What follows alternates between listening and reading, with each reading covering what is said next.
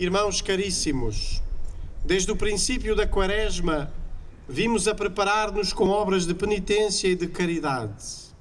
Hoje estamos aqui reunidos para darmos início, em união com toda a Igreja, à celebração do mistério pascal do Senhor, isto é, da sua paixão e ressurreição.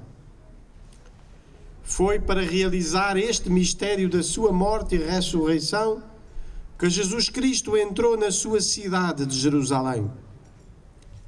Por isso, recordando com fé e devoção esta entrada triunfal na Cidade Santa, acompanharemos o Senhor, de modo que, participando agora na sua cruz, mereçamos um dia ter parte na sua ressurreição.